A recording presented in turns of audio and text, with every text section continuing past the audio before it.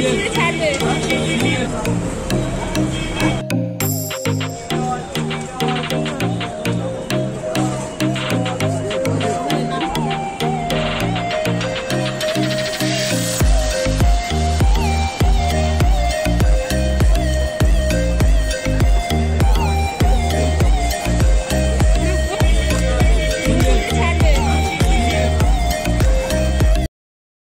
Guys তোমরা দেখতেই পাচ্ছ এখানে বিল করাতে হয়। প্রথমে আমরা বিল করালাম তারপরে আমরা খাবারটা প্যাক করিয়ে বাড়িতে নিয়ে চলে এসেছি।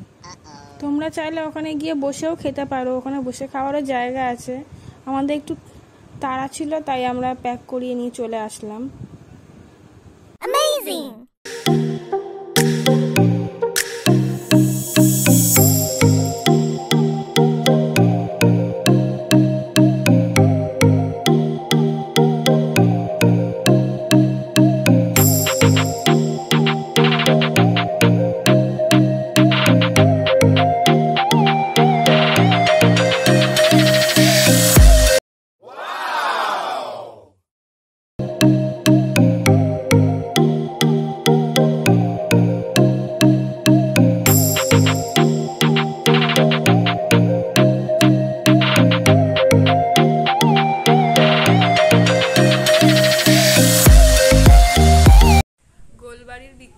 মাংসর ব্লগটা কেমন লাগল আমাকে একটু কমেন্ট করে জানিও।